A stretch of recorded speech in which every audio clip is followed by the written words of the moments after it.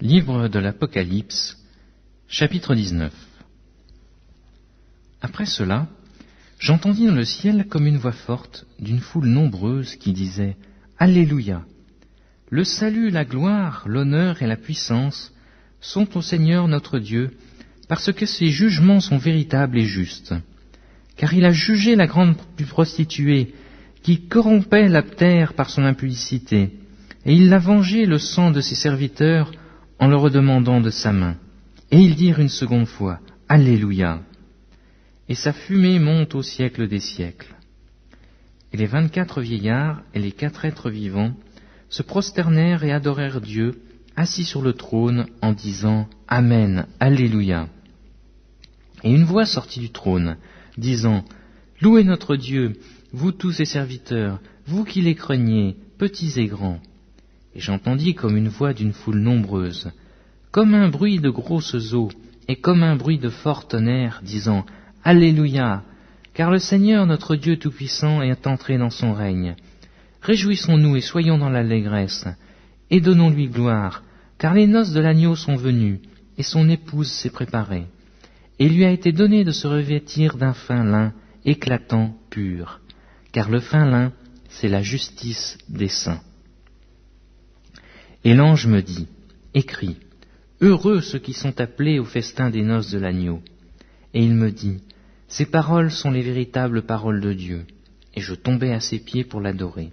Mais il me dit, Garde-toi de le faire, je suis ton compagnon de service, et celui de tes frères qui ont le témoignage de Jésus. Adore Dieu, car le témoignage de Jésus est l'esprit de la prophétie. Puis je vis le ciel ouvert, et voici parut un cheval blanc. Celui qui le montait s'appelle fidèle et véritable. Et il juge et combat avec justice. Ses yeux étaient comme une flamme de feu. Sur sa tête étaient plusieurs diadèmes. Et il y avait un nom écrit que personne ne connaît si ce n'est lui-même. Il est revêtu d'un vêtement teint de sang. Son nom est la parole de Dieu. Les armées qui sont dans le ciel le suivaient sur des chevaux blancs, revêtus d'un fin lin blanc pur. De sa bouche sortait une épée aiguë pour frapper les nations. Il les pètera avec une verge de fer, et il foulera la cuve du vin de l'ardente colère du Dieu Tout-Puissant.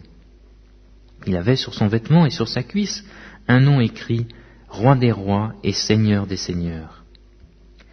Et je vis un ange qui se tenait dans le soleil, et il cria d'une voix forte, disant à tous les oiseaux qui volaient par le milieu du ciel, Venez, Rassemblez-vous par le grand festin de Dieu, afin de manger la chair des rois, la chair des chefs militaires, la chair des puissants, la chair des chevaux, et de ceux qui les montent, la chair de tous, libres et esclaves, petits et grands.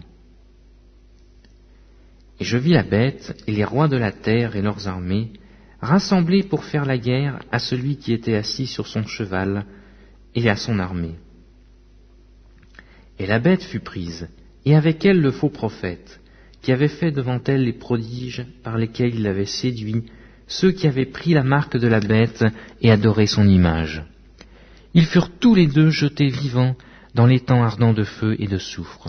Et les autres furent tués par l'épée qui sortait de la bouche de celui qui était assis sur le cheval.